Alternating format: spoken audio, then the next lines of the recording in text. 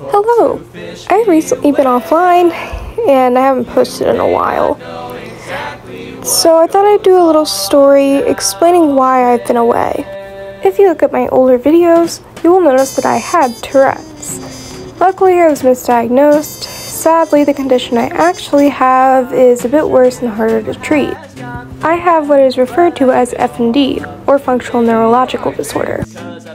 This has caused me to develop symptoms similar to tics or Tourette's but different. I have tics, a gait, partial mutism, non-epileptic seizures, and a few other symptoms. I had to go to the ER after waking up numb and paralyzed in my left leg. Nothing is physically wrong with me, but my brain has stopped working a bit. I am slowly recovering and being treated, and I'm so glad you guys have waited. Sorry for the long absence, I'll try to post every Friday now.